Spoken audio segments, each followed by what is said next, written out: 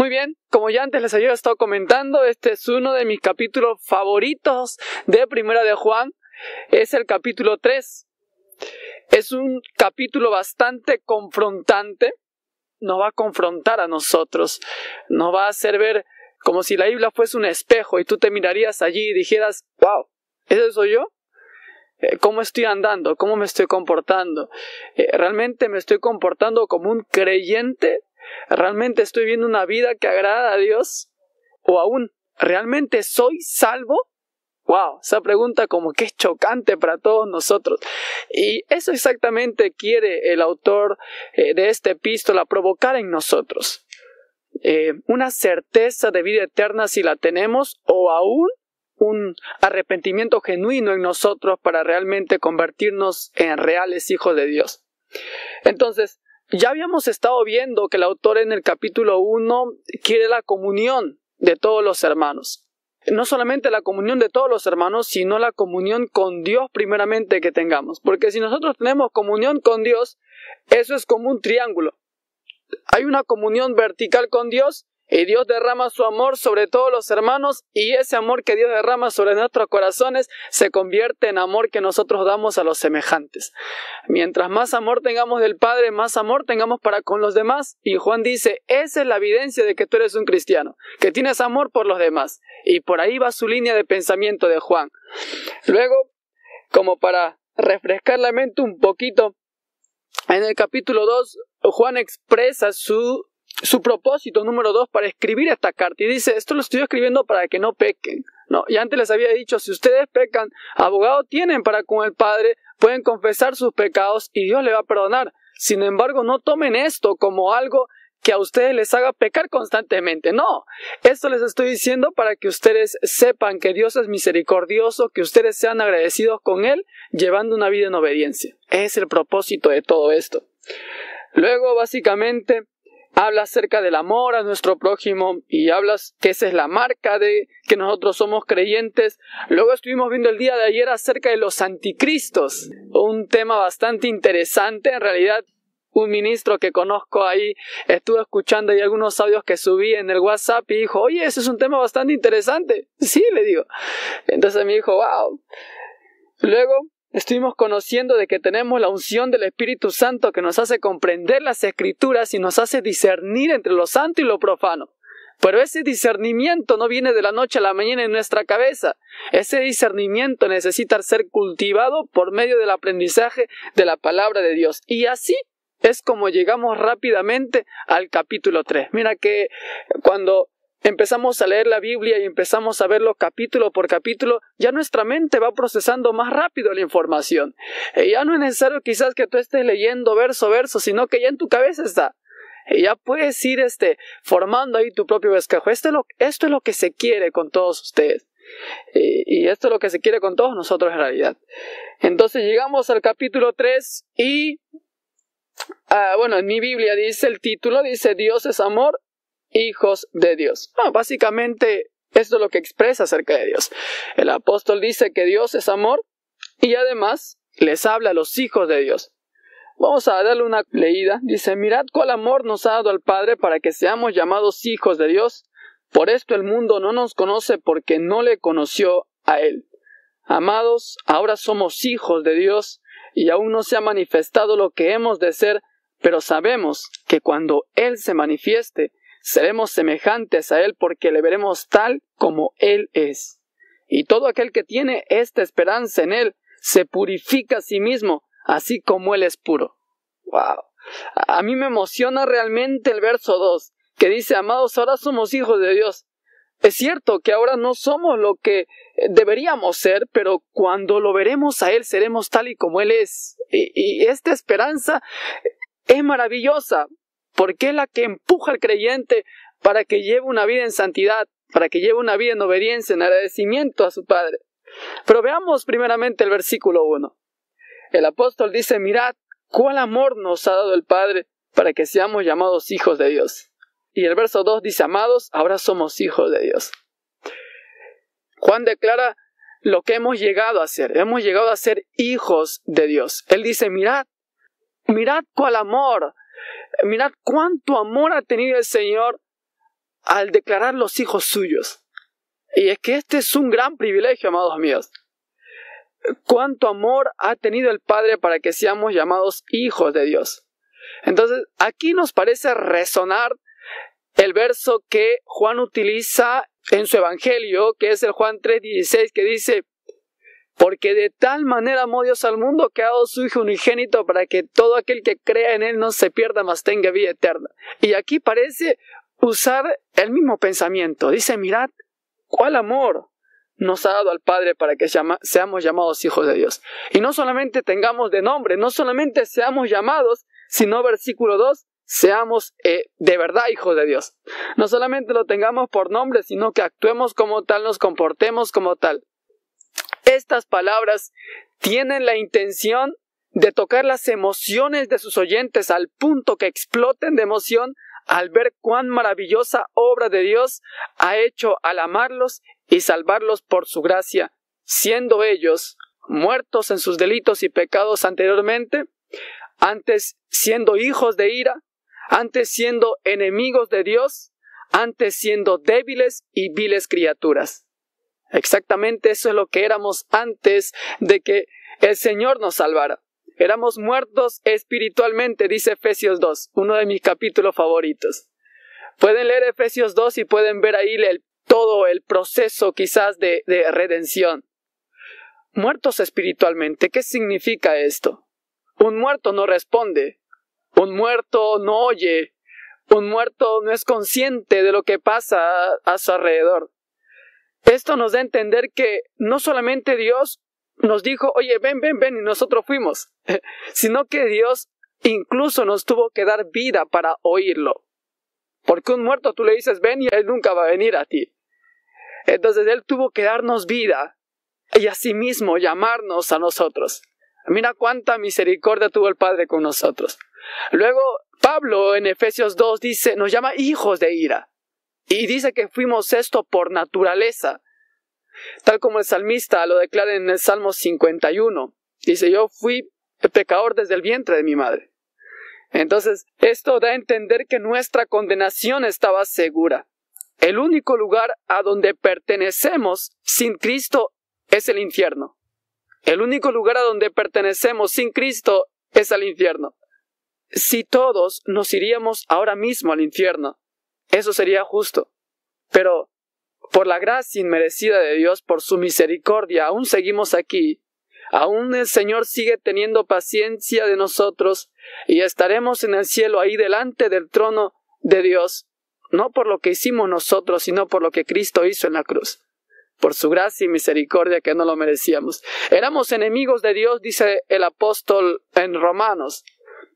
Dios nos salvó a pesar de que nosotros éramos rebeldes, enemigos de Dios.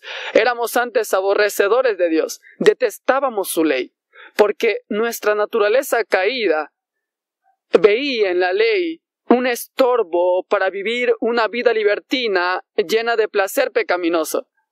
A nuestra carne no le gusta ser corregida. Detesta la ley de Dios, porque no le permite hacer muchas cosas que ella quiere.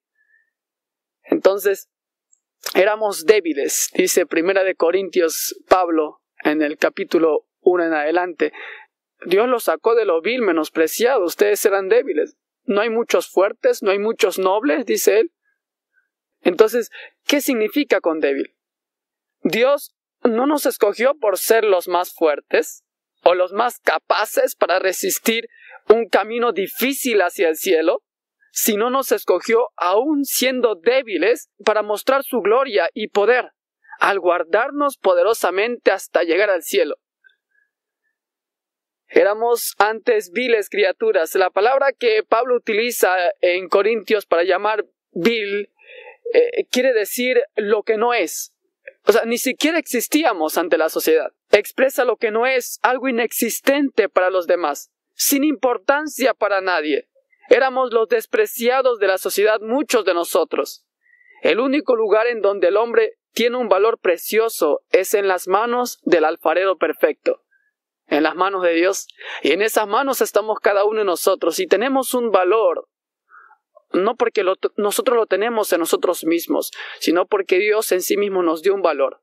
Derramó su poder, como dice Pablo en, en 2 Corintios, su poder sobre nosotros siendo vasos de barro, y eso es lo que realmente nos hace valiosos.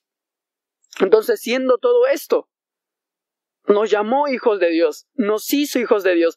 Es por eso que nos debemos sentir agradecidos.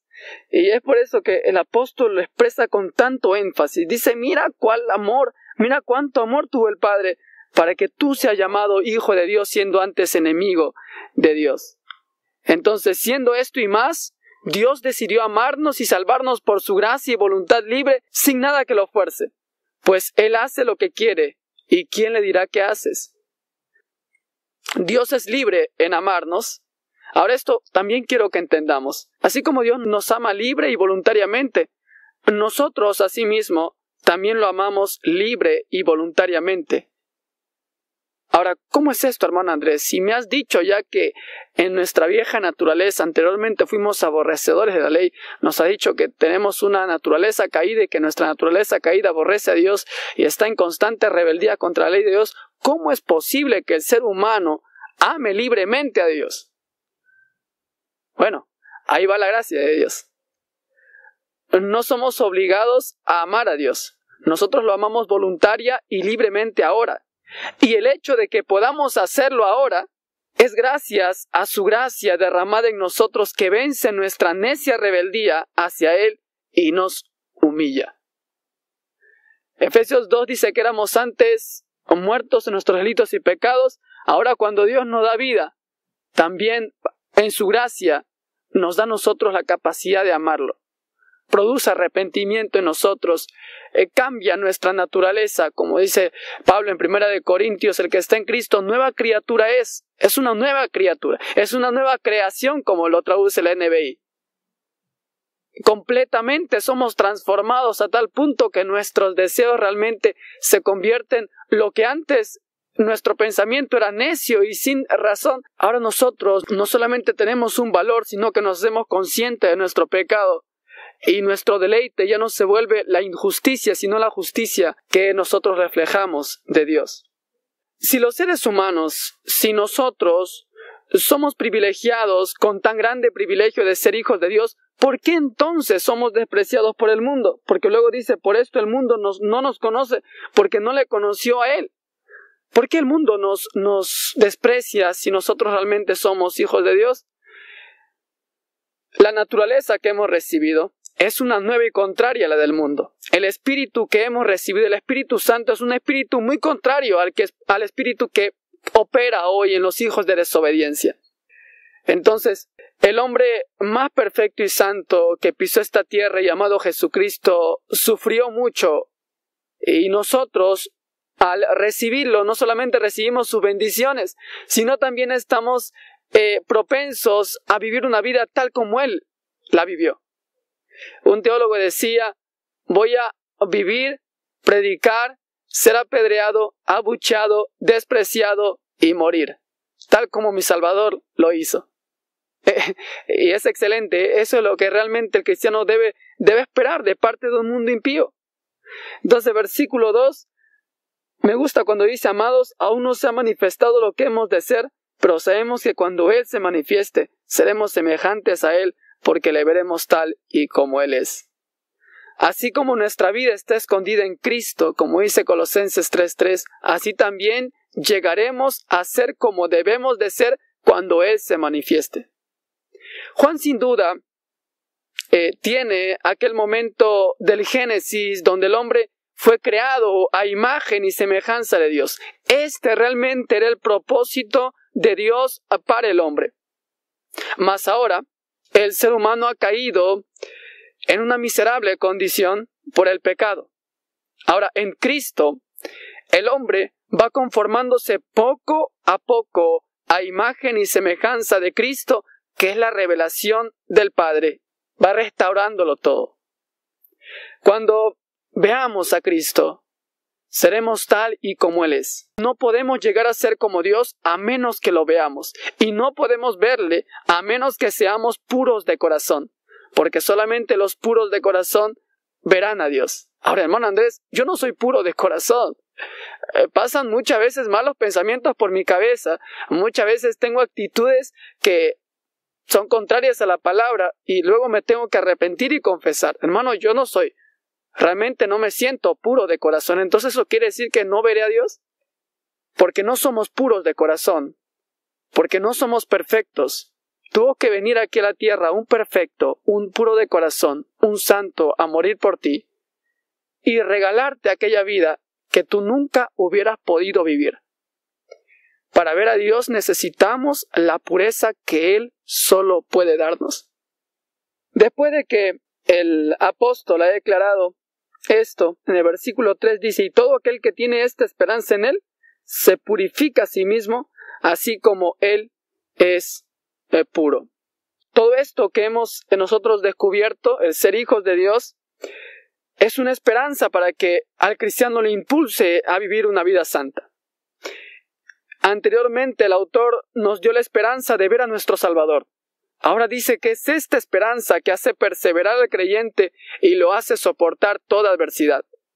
Nuestra meta debe ser Cristo, y asimismo ser semejantes a Él será nuestra recompensa ya, vivir para su gloria, y eso será suficiente gozo para nosotros. La esperanza que algún día veremos a Cristo debe manifestarse en nuestra vida como una vida de obediencia pues aunque el mundo y muchos paganos no toman en cuenta a Cristo, nosotros vemos precioso a Cristo.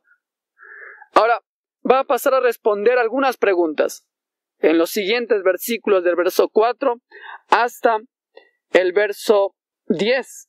Va a cambiar completamente de tema y va a responder a las preguntas ¿qué es el pecado? ¿Qué hizo el pecado en nosotros? Nos dice de dónde procede el pecado. Asimismo, nos dice cómo se conquista el pecado. Demos una leída corrida.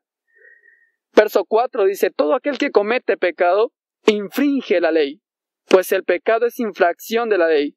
Y sabéis que Él apareció para quitar nuestros pecados, y no hay pecado en Él. Todo aquel que permanece en Él no peca. Todo aquel que no peca no le ha visto ni le ha conocido. Hijitos, nadie os engañe. El que hace justicia es justo como Él es justo.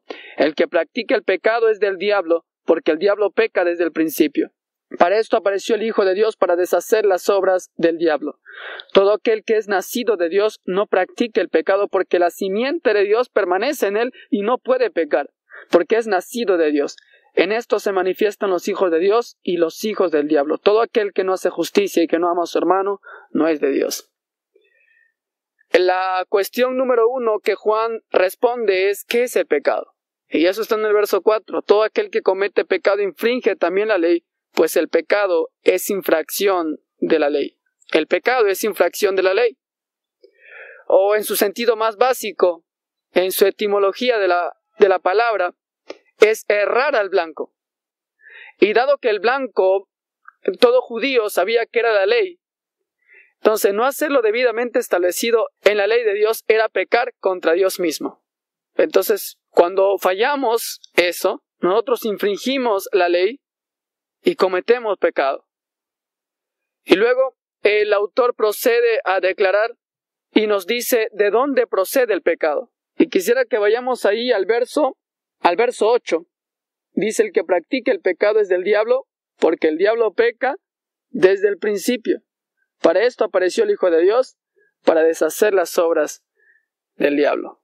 El pecado procede del diablo, porque el diablo peca desde el principio. Ahora notes aquí la palabra del principio, pareciera indicar que nosotros, si bien pecamos por el placer que creemos que nos va a dar el pecado, el diablo peca con otra intención. El diablo peca porque, por cuestión de principio.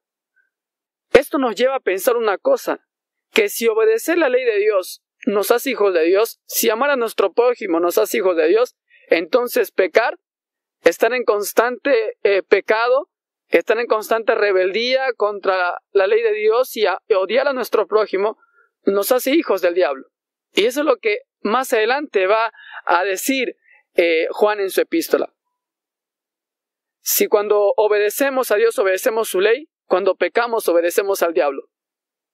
Yo sé que suena chocante, suena muy fuerte, pero eso es lo que realmente el apóstol Juan está diciendo aquí. Imagínate, el apóstol Juan es un tipo bastante cariñoso, amados, hijitos míos, sin embargo le dicen, oiga, si tú no estás haciendo todo esto que yo te estoy diciendo, eres un hijo del diablo. Él no esconde la verdad. Él es amoroso para corregir, pero no esconde la verdad. Esa también es, es una cualidad que debemos nosotros imitar. Ahora, Juan también responde a la pregunta, ¿qué hizo el pecado en nosotros? Y también vamos a ver el verso 8 de nuevo y dice el que practica el pecado es del diablo, porque el diablo peca desde el principio. Para esto apareció el Hijo de Dios para deshacer las obras del diablo. La obra del diablo y su intención al intervenir en este mundo siempre fue desfigurar la imagen de Dios en el hombre y corromperlo hasta que el hombre se parezca más a él que a su creador.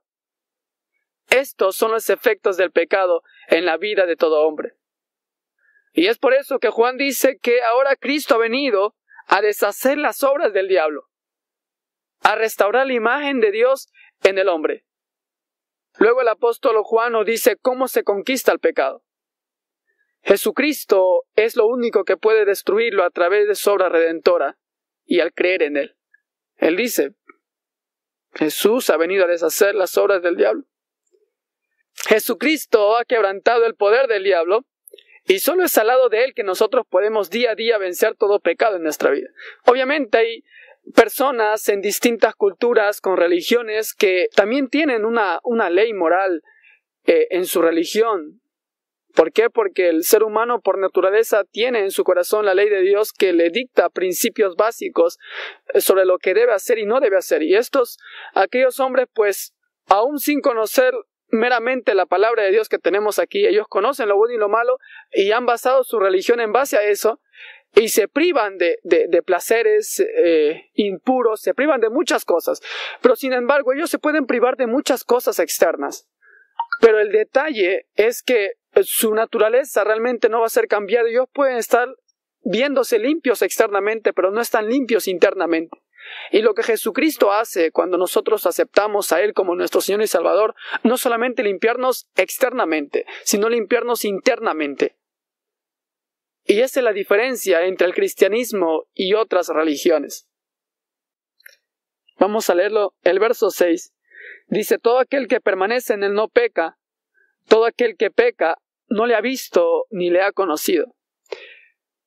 Ahora entendamos aquí el verbo que se da aquí de no peca es un verbo que está en continuo presente.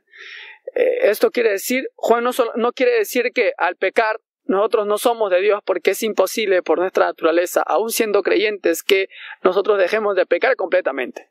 Juan está hablando aquí de un hábito, de un andar en pecado. Aquí el verbo indica esto. Entonces la traducción mejor que podríamos darle en ese sentido sería el que anda en pecado. El que permanece en él no anda en pecado. Todo aquel que peca no le ha visto ni le ha conocido. Entonces, el creyente es perseverante en cuanto a la justicia en su vida, no al pecado en su vida. Ahora, si aquella persona dice que tiene a Cristo, pero sin embargo luego de salir de la iglesia, tiene una vida totalmente libertina y no, no, tiene contrición en su corazón cada vez que peca, no se arrepiente, eh, no le importa ofender a Dios, entonces el apóstol Juan va a decir que esta persona no ha visto a Dios ni tampoco lo ha conocido. El creyente es perseverante en cuanto a la justicia en su vida. El apóstol Juan no habla de una visión física de ver a Dios, porque ciertamente ahora en la condición en la que estamos no podemos ver a Dios. Eh, no habla tampoco de una visión escatológica, de verlo posiblemente en los últimos tiempos cuando estemos ahí en la presencia de Dios en el juicio, sino habla de una visión de fe. Creo que fue a Atanasio que le preguntaron, muéstrame a tu Dios. Y él dijo, no, no te lo voy a mostrar. Y, y entonces le dijeron, pero ¿por qué Atanasio? Porque no lo puedes ver, no tiene los ojos para verlo. Necesitas los ojos de la fe para ver a mi Salvador. Y eso es exactamente lo que el apóstol Juan está diciendo. Aquellos no tienen fe, no pueden ver por fe, están viendo por vista. Están viendo solamente las cosas materiales, solamente les importa eso, no les importa Cristo, porque si les importara Cristo, realmente vivieran una vida de obediencia. Ahora, los versículos 7. Hijitos, nadie os engañe. El que hace justicia es justo como él es justo. Como les comentaba, había muchos gnósticos en ese tiempo que decían que solamente por medio de la intelectualidad, por medio solamente del conocimiento, nosotros nos hacíamos rectos o éramos aptos para conocer a Dios. Sin embargo, el apóstol Juan dice, nadie se engañe. No se engañen. El que hace justicia es justo como Él es justo. Si ustedes aman a un Dios justo, ustedes van a tener una vida justa. Y luego dice el que practica el pecado, fíjate, el que practica el pecado es del diablo, porque el diablo peca desde el principio. Para esto apareció el Hijo de Dios, para deshacer las obras del diablo. Todo aquel que es nacido de Dios no practica el pecado porque la simiente de Dios permanece en él y no puede pecar porque es nacido de Dios. Ahora, este pasaje, el verso, el verso 9, requiere un análisis bastante especial. Tiene tres interpretaciones que me gustaría que ustedes sepan. Entonces, anteriormente el autor había dicho que el que vive en Cristo no puede vivir en pecado. Ahora el autor va mucho más allá y dice que el que es nacido de Dios no practica el pecado. El nuevo nacimiento nos incorpora a Cristo para vivir y morir por Él y como Él. Los hijos de Dios no solo reciben las bendiciones de su Salvador, sino también el deber aquí en la tierra, a sufrir los mismos sufrimientos que su Salvador tuvo por llevar una naturaleza santa en medio de un mundo impío. Ahora, al referirse a simiente aquí el apóstol Juan, este pasaje tiene tres interpretaciones, en mi opinión, bastante válidas, y las tres podrían ser aplicables y muy certeras para explicar este pasaje. Una dice que los judíos tenían un concepto de simiente en torno a descendencia, entonces se puede ver en, los hombres del Antiguo Testamento donde hablan de la simiente y hablan acerca de su descendencia. Entonces, algunos comentaristas parafrasean este versículo y dicen que podría traducirse así. Cualquiera que es nacido de Dios no peca, en su sentido que no peca constantemente, porque la familia de Dios, refiriéndose a la simiente, mora constantemente en Dios, refiriéndose a la pureza de Dios. Es decir, si la simiente se refiere a la descendencia, entonces nosotros por ser, por ser de la familia de Dios, no pecamos, porque la familia de Dios permanece en Dios.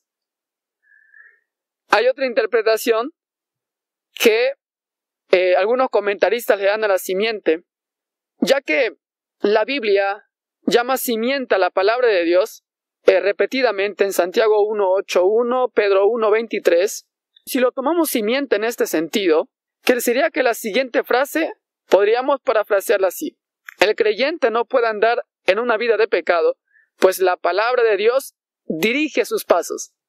Es la interpretación de que por si la simiente significara la palabra de Dios.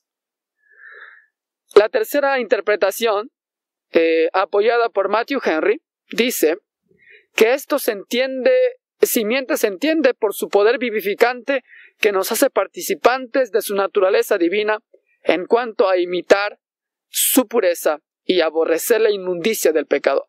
Las tres interpretaciones, a mi parecer, me parecen geniales y pueden ser aplicables a, a nuestra vida. La verdad clara que estas tres interpretaciones dan es que ambas declaran el mismo principio. Mientras más cercano se hace el hombre a Dios, más detesta el pecado y le causa dolor y lágrimas al caer en él. Lágrimas que lo llevan en adelante a una vida de arrepentimiento y a una vida realmente de gloria en gloria. Entonces, la conclusión de todo lo que hemos estudiado hasta el momento, hasta el versículo 10, hasta el versículo 9, se puede resumir en cuatro puntos para poder hacer el aprendizaje un poquito más comprensivo. Uno, el ideal en la ira venidera es que el pecado haya desaparecido para siempre y nosotros podamos llegar a ser tal y como nuestros salvadores. Punto número dos, los cristianos deben de tratar de hacer eso realidad, refiriéndose a, que el pecado disminuya con la ayuda de Cristo, luchar para evitar actos pecaminosos en su vida. Punto número tres, de hecho que tendremos recaídas, pero estaremos confesándolo constantemente y habrá gracia suficiente para limpiarnos en cuanto lo confesemos. 4. Esto no da permiso al creyente a pecar constantemente, pues si ha nacido de Dios, no pecará, de modo de práctica habitual. Ahora, Stott dice algo interesante. Él dice, lee este pasaje y dice, bueno, esto solamente me lleva a una conclusión. Y es esta. Si los que han nacido de Dios no practican constantemente el pecado, entonces los que practican el pecado y creen ser hijos de Dios, en realidad no lo son. No son de Dios, no son realmente convertidos. Y, yo, yo concuerdo con su comentario. Sí, sí concuerdo muy bien, porque es prácticamente lo que este pasaje nos dice. El verso 10 es un verso bastante fuerte que dice, en esto se manifiestan los hijos de Dios y los hijos del diablo. Todo aquel que no hace justicia y que no ama a su hermano no es de Dios. Los hijos de Dios son aquellos que tienen una nueva naturaleza, son hijos de Dios porque han nacido de Dios. Sin embargo, con los hijos del diablo ocurre algo distinto, porque si bien estas personas fueron creadas por Dios, ellos son hijos del diablo por imitación. ¿Se acuerdan en Juan capítulo 8 cuando Jesús le dice a los fariseos, ustedes están obedeciendo a su padre el diablo? Y los fariseos le dicen, nuestro padre es Abraham. Y Jesús le dice, no, ustedes son hijos del diablo porque están haciendo las mismas cosas que el diablo hace. El diablo ha sido homicida desde el principio y ustedes me quieren matar a mí. Entonces los hijos del diablo son hijos del diablo por imitación, aun a pesar de que esas personas sí han sido creadas por Dios. Esta es la diferencia entre los hijos de Dios y los hijos del diablo. Todo aquel que no hace justicia y que no ama a su hermano no es de Dios. Fíjate, quizás habría allí en la iglesia de Éfeso alguna persona que estaba allí en la congregación y cuando se leía esta carta, imagínate cómo estaba la persona que realmente tenía estas actitudes. ¿Qué hubiese, qué hubiese causado dentro de sí? Yo creo que muchas personas se arrepintieron después de haber leído esta carta. Sí, porque Juan es tajante y dice, mira, examínate a ti mismo. Si tú no tienes estas actitudes, eh, si tú no estás viviendo una vida recta, si tú no amas la justicia y aborreces el pecado, tú no eres de Dios. Arrepiéntete. Palabras tan duras del apóstol Juan, pero que las da con un matiz tan amoroso. Vemos alrededor de todo este capítulo que dice hijitos míos en el versículo 7. Y asimismo, él exhorta al amor en el versículo 11. Porque este es el mensaje que habéis oído desde el principio, que nos amemos unos a otros, no como Caín, que era del maligno y mató a su hermano. ¿Y por qué causa le mató? Porque sus obras eran malas y las de su hermano justas. A. E. Broke, un teólogo, dice, la vida es una oportunidad para amar. La vida sin amor es muerte. Amar es estar en la luz. Aborrecer es estar en oscuridad. No necesitamos más pruebas de eso que mirarla en la cara de una persona enamorada y mirar la otra cara de otra persona llena de odio. Una mostrará la gloria y la otra la negrura de su corazón. E, el amor como principio del creyente. Como alguien dijo, no me digas que eres hijo de Dios, necesito que me lo demuestres. Entonces, Juan declara en los siguientes pasajes en el verso 2 también la razón por la cual Caín mató a Abel. Ahora, así como Jesús es el prototipo del amor, así Satanás, que es el agente principal de todo acto de maldad, porque dice Caín era del maligno, eh, es el prototipo de todo mal. Las causas por las cuales Caín mató a Abel fueron las siguientes, y esto es muy importante.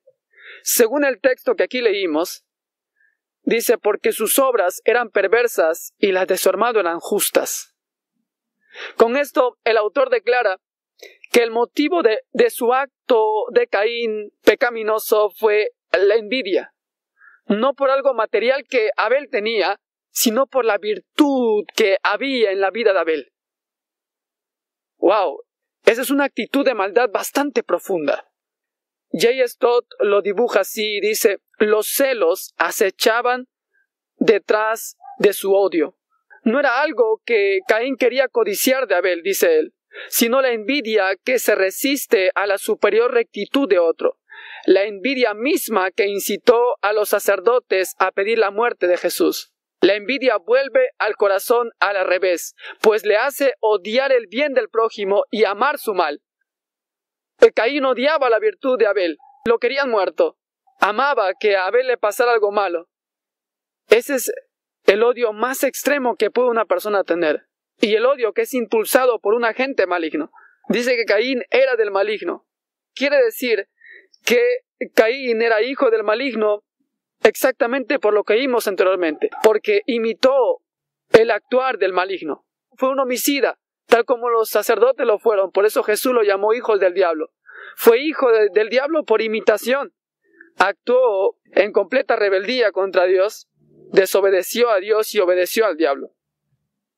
El verso 13 dice, hermanos míos, no os extrañéis si el mundo os aborrece.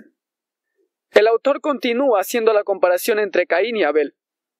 Y nos dice algo a nosotros, nos dice que si nosotros tenemos vidas virtuosas como Abel, si nosotros obedecemos a Dios, que no nos extrañe que nos encontremos con muchos Caíns. Que no nos extrañe si nos encontramos con personas que deseen lo mismo que Caín le deseaba a Abel. Entonces, el creyente no espera nada más del mundo impío que ser apedreado por sus convicciones. Imagínate, hoy en día ya no puedes ni publicar nada en Facebook porque ahí te bloquean. Muchos se están quejando de ello.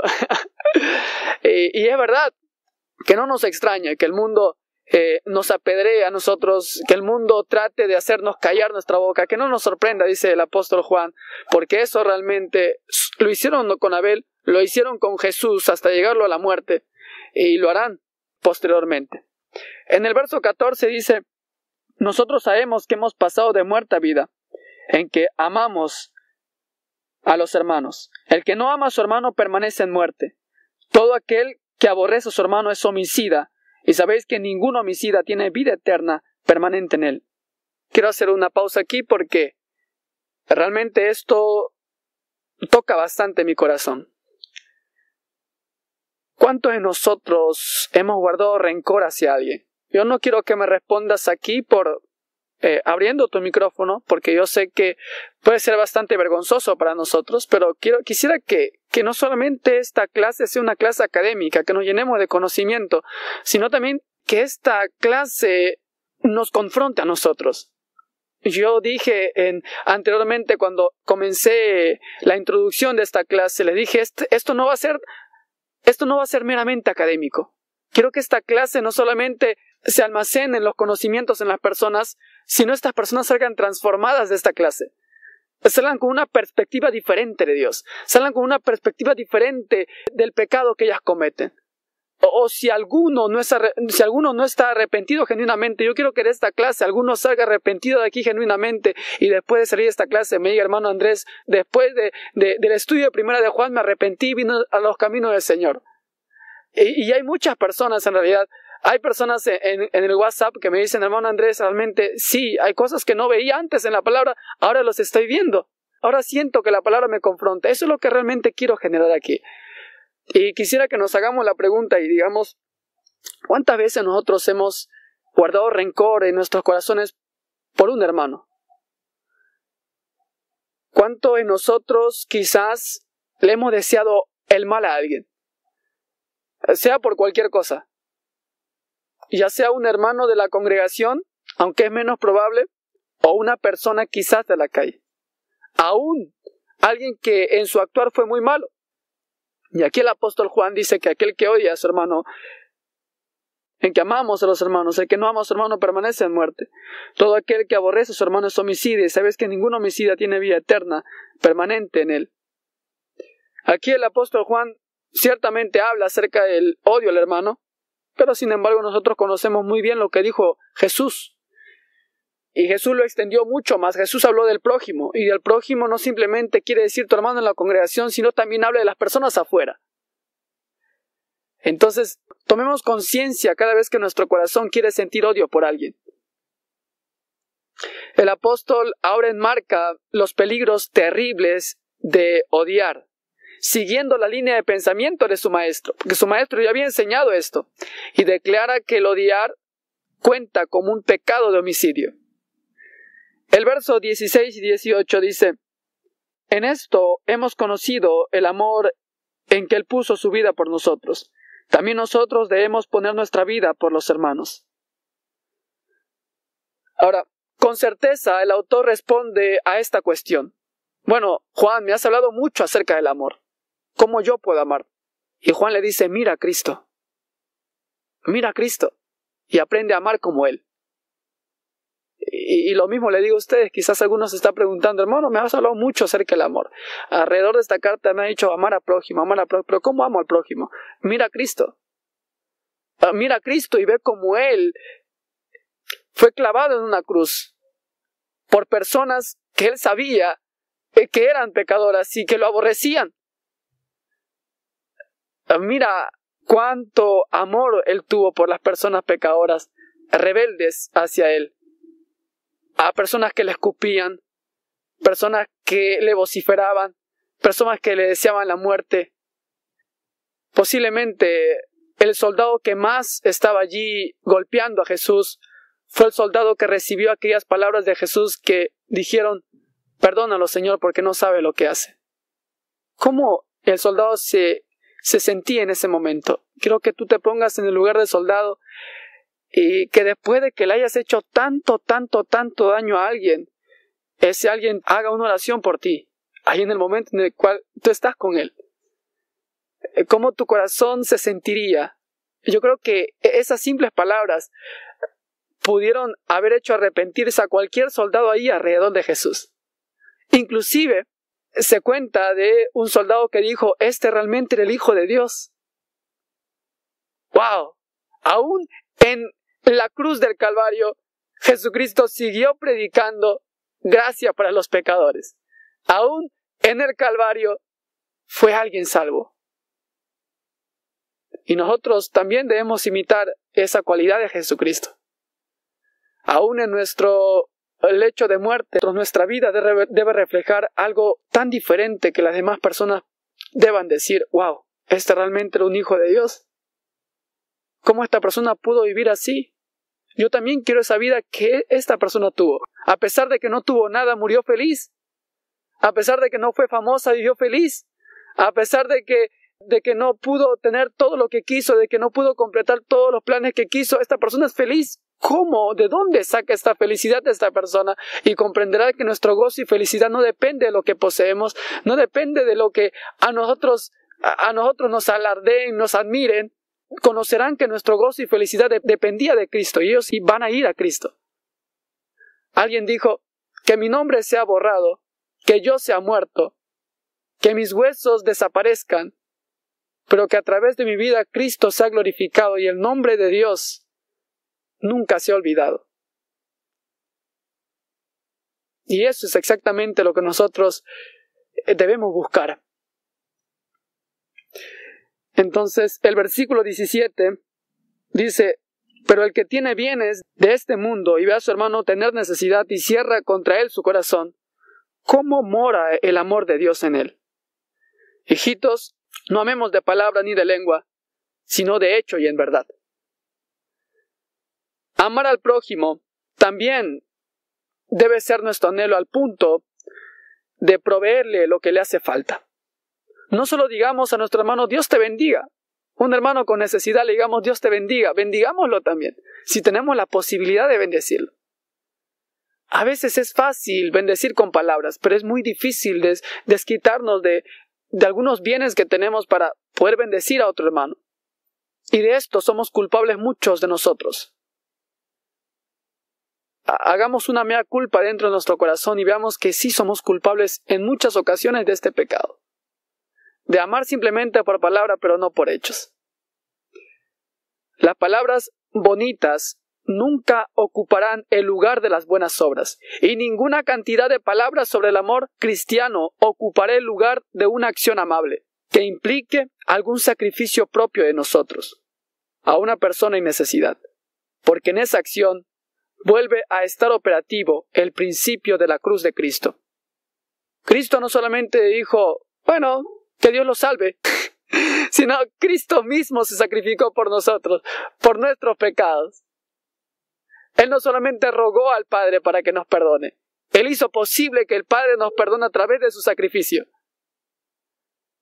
Esto es lo que debemos aprender de Cristo, a amar como Cristo, no solamente de palabras, sino de hechos.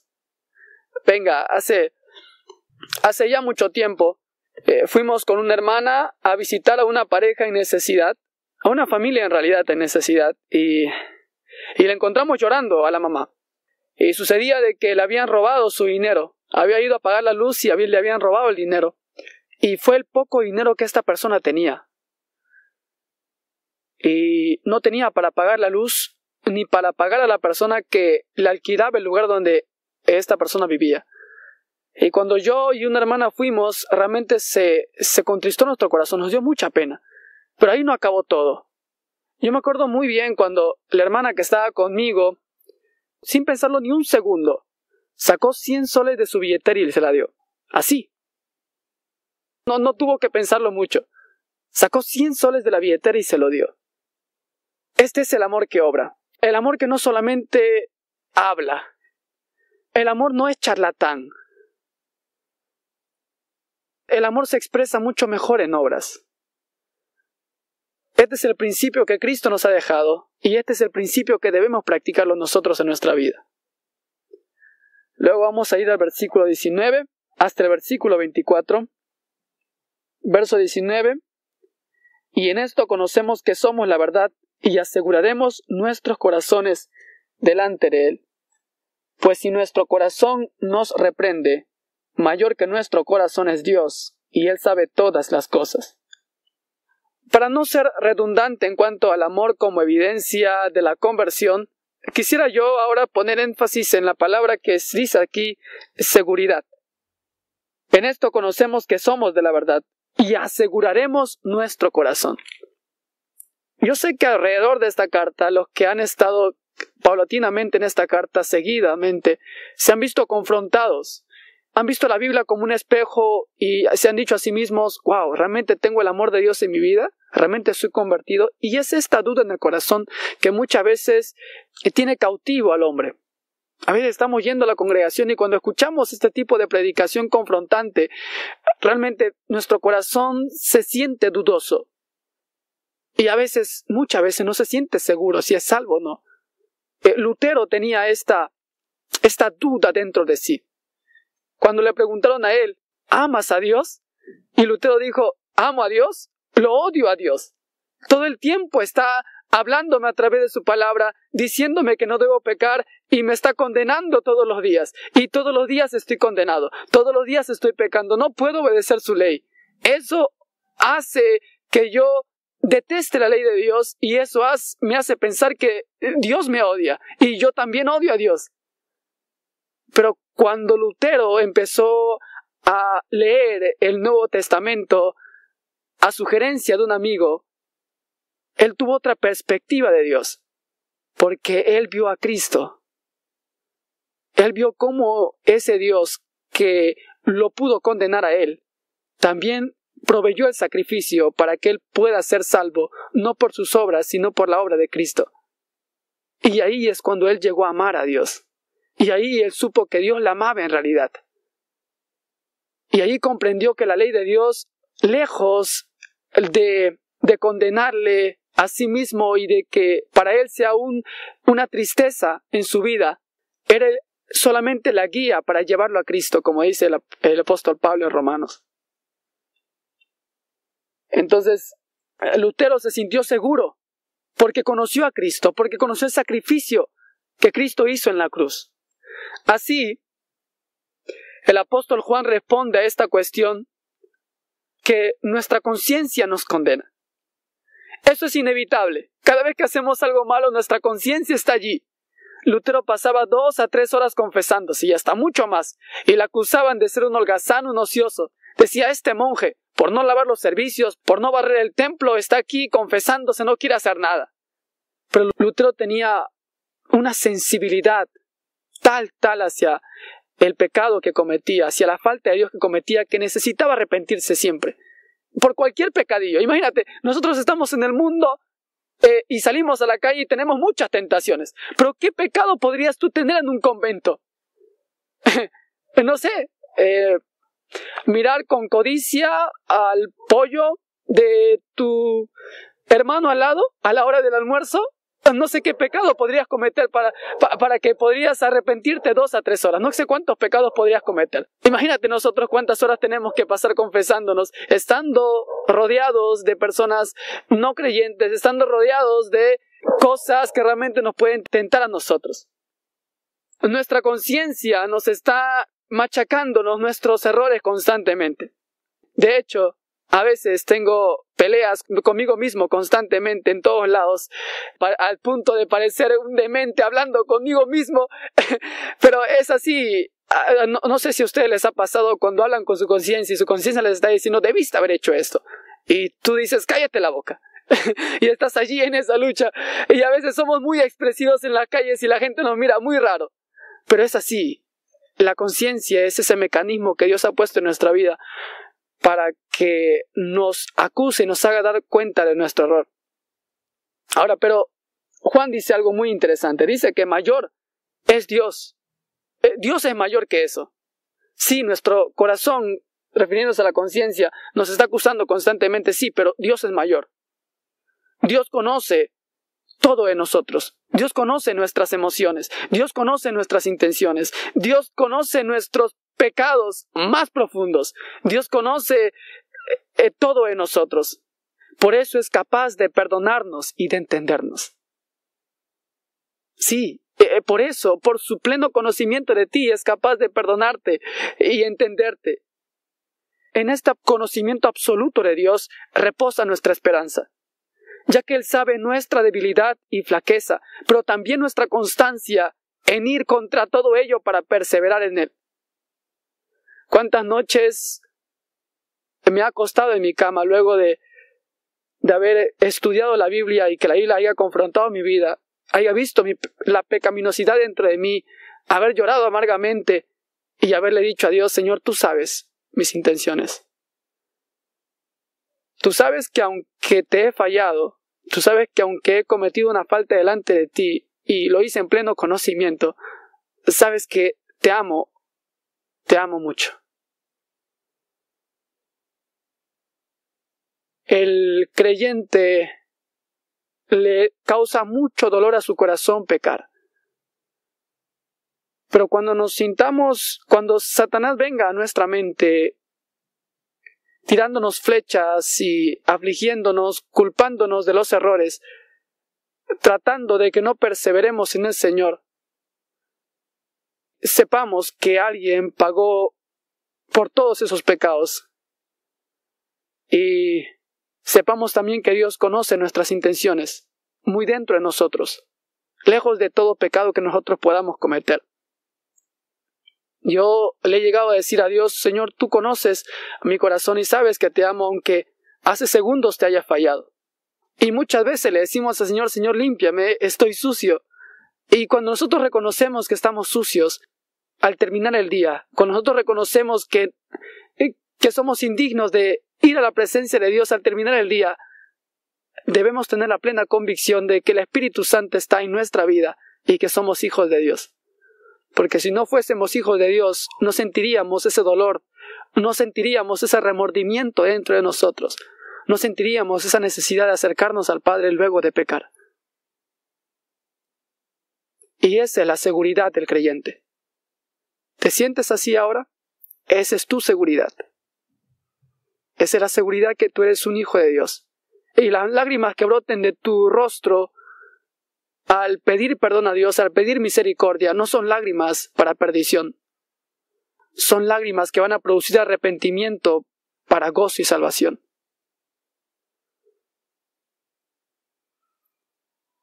Así es, nuestro corazón está sujeto a esta esperanza. Estamos seguros en Dios que somos de Él y para Él. Eso me causa mucho gozo a mí. Luego de un momento tan emotivo, me causa mucho gozo saber de que todo esto asegura mi corazón y está constantemente diciéndole tú eres hijo de Dios. Lutero decía, cuando Satanás venga a ti y te diga no mereces el cielo, mereces el infierno, Lutero decía que le digamos a Satanás, sí, es verdad, soy pecador, merezco el infierno, merezco la ira de Dios, pero hubo alguien que pagó por mis pecados y, es por él que yo entraré a los cielos y veré a mi Cristo. Esa es la convicción que nosotros debemos tener. El verso 22 dice, y cualquiera cosa que pidiéramos la recibiremos de Él porque guardamos sus mandamientos y hacemos las cosas que son agradables delante de Él. Cuando guardamos sus mandamientos y lo amamos, tendremos la mente de Cristo en nosotros. Nuestros deseos, lo que nosotros deseemos, lo que nosotros sintamos, serán también los deseos de Dios. Esta es la razón por la cual todo lo que pidamos será hecho. Algunos han tomado este texto de una forma tan insultante a Dios. Tan insultante a Dios. De creer que este texto dice que nosotros podemos requerir todo lo que nuestro egoísta corazón puede pedir. Podamos pedir lujos y vanidades, mucho dinero y cosas para nuestra gloria y no para la gloria de Dios. Lo que el apóstol Juan está diciendo es lo siguiente que cuando nosotros guardemos sus mandamientos y amemos a Dios, vamos a creer las mismas cosas que Dios quiere. Y que lo que nosotros pidamos va a ser completamente de acuerdo a su voluntad. Es por eso que Dios va a cumplir con, va a cumplir con nuestros deseos. No vamos a creer nada que no sea para la gloria de Dios. Y es por eso que Dios va a cumplir nuestros deseos. Cuando el salmista dice que Dios conceda los deseos de tu corazón, él anteriormente a ese verso dice que se deleite nuestro corazón en Él. Ese deleite del corazón en Él hace también que nuestros deseos sean conformes a su voluntad. Es por eso que más abajo el salmista le dice que Dios va a conceder los deseos de nuestro corazón, porque van a ser los deseos del Padre.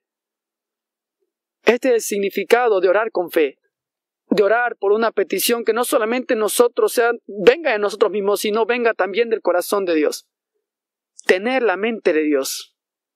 Eso es lo que nosotros nos va a dar seguridad de que nuestra oración ha sido respondida. En el verso 23 y verso 24, ya para terminar, dice, y este es su mandamiento, que creamos en el nombre de su Hijo Jesucristo, y nos amemos unos a otros, como nos lo ha mandado. Y el que guarda sus mandamientos permanece en Dios y Dios en él y en esto sabemos que Él permanece en nosotros, por el Espíritu que nos ha dado. El autor finalmente resume su enseñanza en dos cláusulas. Número uno, que creamos en el nombre de su Hijo Jesucristo. Como ya antes lo habíamos dicho y explicado, respecto a la expresión que el apóstol Juan usa como nombre, esto no solamente significa que nosotros creamos que hay un hombre que vino aquí y fue la deidad, fue crucificado y que se llamaba Jesucristo, sino esto significa que creamos en Cristo y lo que Él es en sí mismo, en sus atributos, en sus cualidades, su misericordia, su amor y todos aquellos atributos que no son de provecho para nosotros como hijos de Dios. Tengamos en consideración no solamente eh, su nombre como una mera palabra, si no tengamos en consideración todo lo que es Él. Para la cultura judía era esto. Decir cree en el nombre del Señor Jesucristo no era simplemente decir cree que por decir el nombre de Jesucristo te vas a salvar. No, significaba cree en la misericordia de Cristo, en la compasión de Cristo. Cree en esos atributos que van a, van a lograr que tu salvación sea efectiva. Entonces, para esto es necesario conocerlo. Y no lo podemos conocer de otra manera, sino a través de su palabra. Y en ese sentido, también el conocimiento de que nosotros obtengamos de Él debe llevarnos a una obediencia. Luego Él dice que nos amemos unos a otros. Esto ya lo había repetido anteriormente. El amor de Dios une y reconstruye. Nunca divide o destruye algo bueno y noble. Se cuenta, no sé si será verídica, pero se cuenta en los relatos históricos acerca de las misiones que Juan tenía.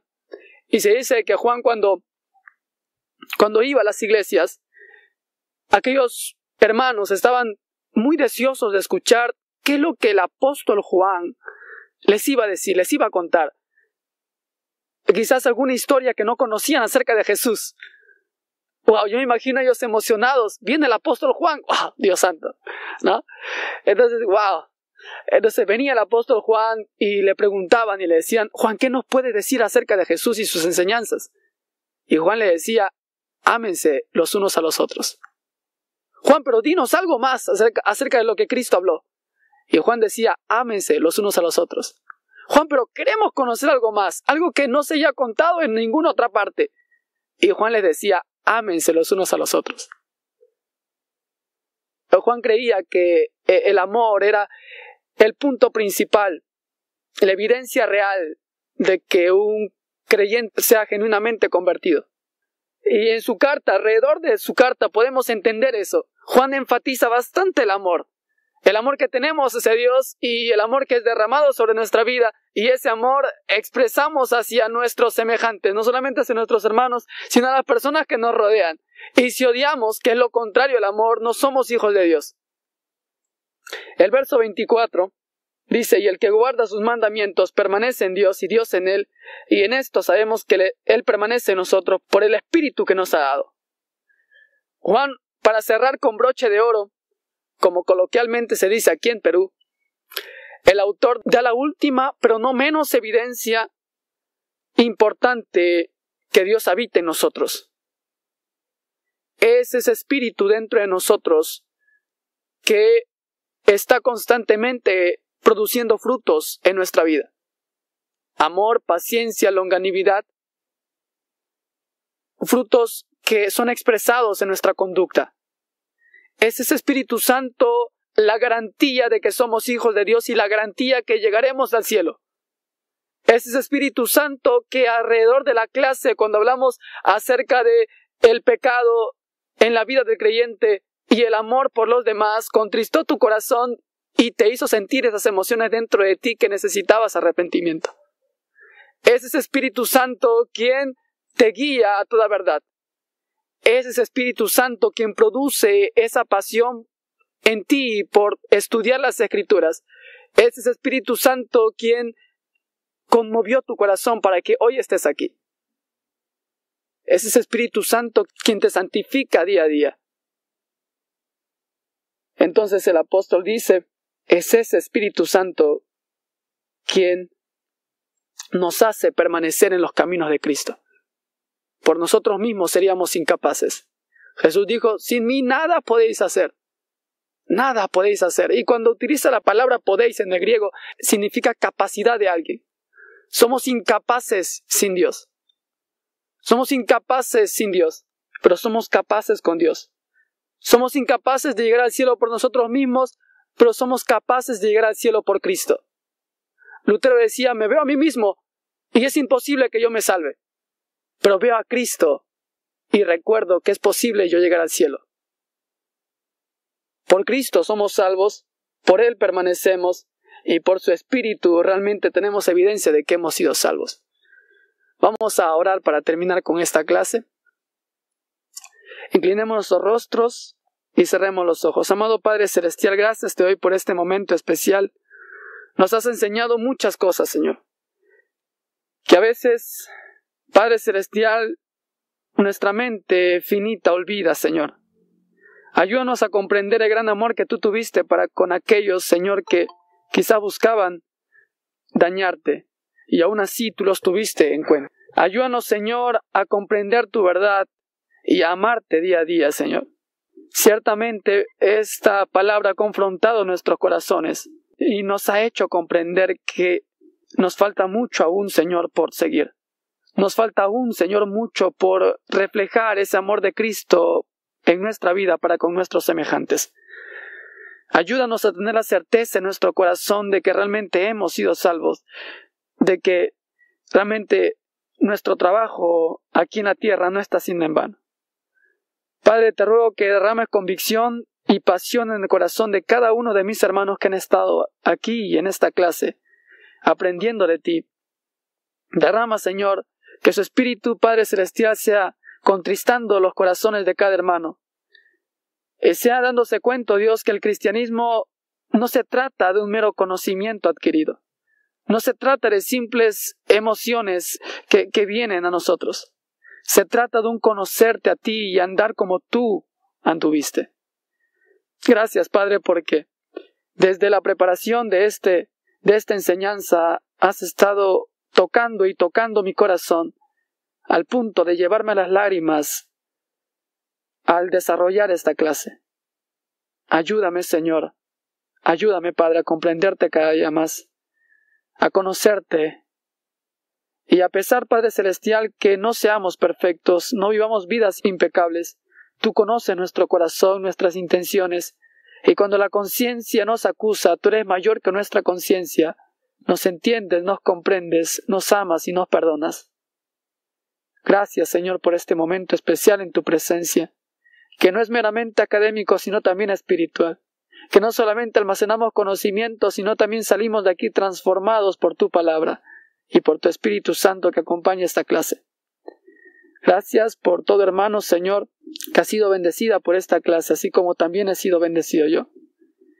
En el nombre poderoso de tu Hijo Jesús te pedimos que guardes esta enseñanza en nuestros corazones, Señor para ponerla en práctica. No solamente sea una mera emoción aquí del momento y salir de aquí quizás emocionados, sí, luego después de unos minutos o después de un día olvidarnos de lo que aprendimos y simplemente vivir, seguir viviendo vidas libertinas, sino de que esta palabra transforme realmente nuestro corazón y nos dé una perspectiva diferente Cambie nuestra mentalidad, Señor. De eso se trata el arrepentimiento. No se trata de un mero emocionalismo. No se trata de simples lágrimas. Se trata de un cambio de mentalidad. Un cambio de vida. Gracias, Padre Celestial, por este tiempo maravilloso. En el nombre de tu amado Hijo Jesucristo. Amén.